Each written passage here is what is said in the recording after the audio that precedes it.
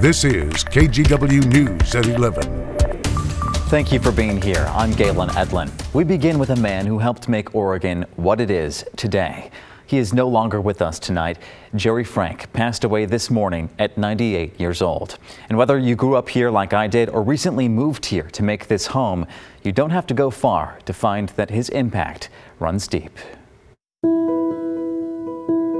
Take it from the man himself. My roots are very deep in Oregon. Generations dating back to before Oregon was a state. Jerry Frank's great great grandfather walked to Portland from California in the 1800s and established a one man store. That became the Meier and Frank department store. Brings back so many wonderful memories.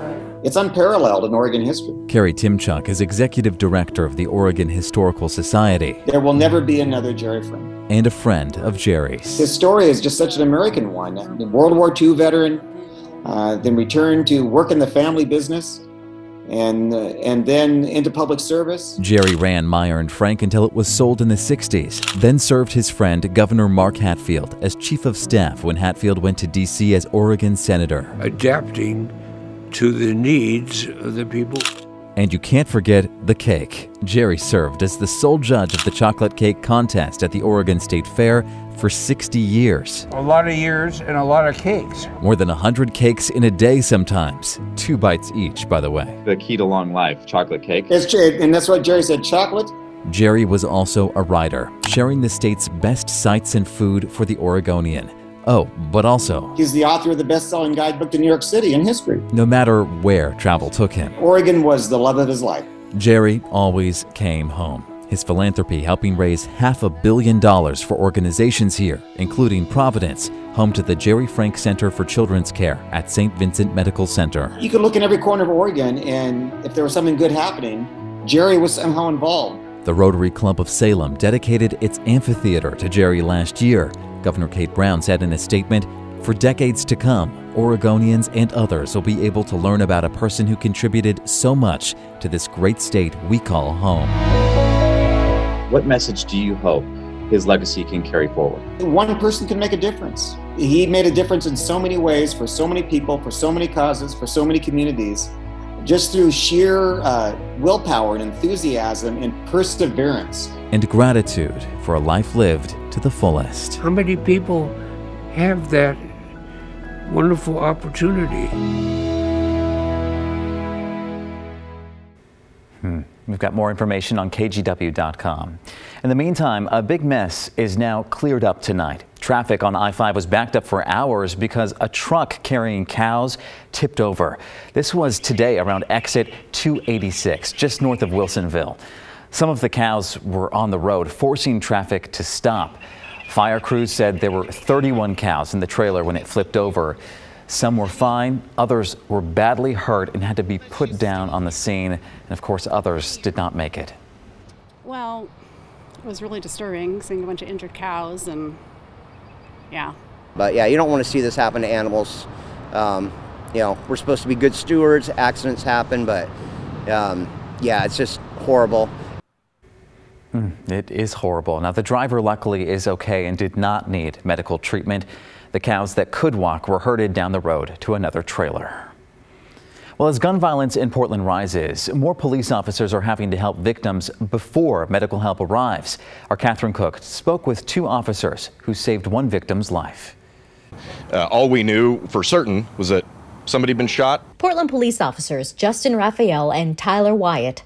So we don't know at this point if shooter's still there. Are used to walking into the unknown. But on the night of March 8th, just one thing was certain. It is clear that he is in grave condition. He's going in and out of consciousness. A young man lay dying in a pool of his own blood, a bullet in his thigh through his femoral artery. That is a grave wound that will kill you within a matter of minutes if untreated. It happened on Southeast 92nd near Powell Boulevard. There had been gunshots and calls to 911. When the officers got there, about a dozen people yelled for help and motioned them over to the victim.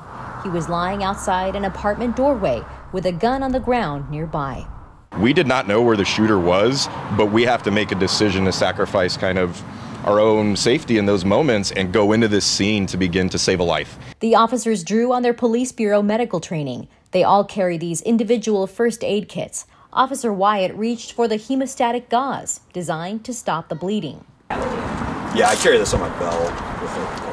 While Officer Wyatt packed the wound, Officer Raphael applied a tourniquet. At one point, he just asked if I'd hold his hand, which um, was a, a, pretty intense moment. Um, and I did. I held his hand and I just told him, hey, keep squeezing my hand, stay with me. He held the man's hand, even as medics loaded him into the ambulance minutes later. Minutes the officer's first aid bought them. I think that gets lost on a lot of people that sometimes, as officers, we're the first component of that emergency aid. Police say last year, 388 people in Portland were injured by gunfire. 90 of them died. This year, already 66 people have been hurt by gun violence, including the man these officers helped save. They haven't heard from him since, but they hope he hears this. I'm glad you're still with us.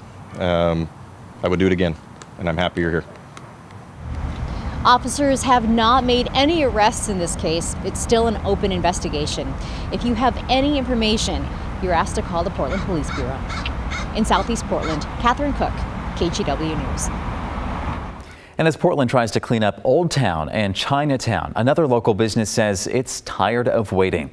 You may know about Mimi's Fresh Tees. Its love over hate shirts became a symbol during civil unrest after the death of George Floyd in 2020. Well, last summer, the owner, Camila Adams, opened a storefront in Old Town but says now she's tired of the trash and crime there and she wants to leave. She says even though there's a 90 day plan to clean up the streets, if it doesn't go well, she's going to pack up.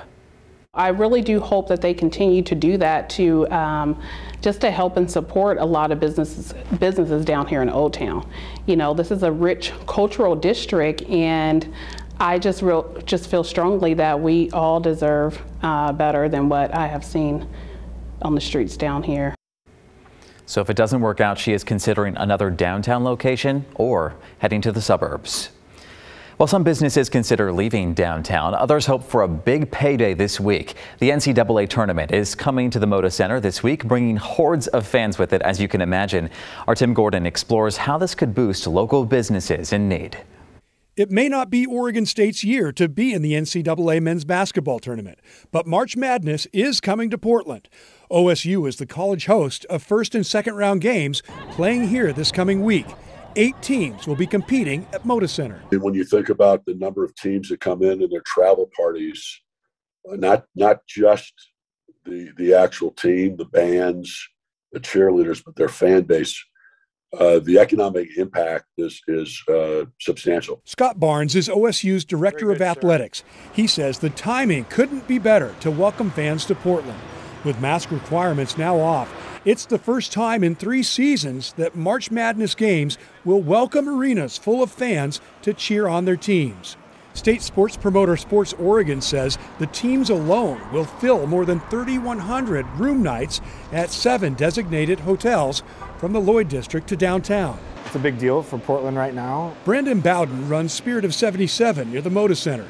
He says the tournament will bring them a huge amount of much needed business in just a few days' time. It doesn't seem like a lot of things are coming to Portland uh, convention wise. And so uh, something like this is, is big for a business like ours that relies on uh, big events to, to come into town. And downtown inside the Heathman Hotel, Azar Indulgences looks forward to selling more treats to visitors. Christine Azar says things have already been picking up. There's a lot more foot traffic downtown, a lot more people attending the shows, concerts, things like that. So things are definitely, I don't want to say back to normal, but on their way there. Certainly, Portland has its challenges, and some business is gone for good. But the business of college basketball will help. These are the sorts of events that sort of galvanize the city and, and uh, attract visitors from all over the country. Tim Gordon, KGW News. There are three sessions of basketball, and tickets are still available for the first two on Thursday, but sales are picking up now that the teams are announced. We're going to have a full list for you of who's coming in about 30 minutes right here on Sports Sunday.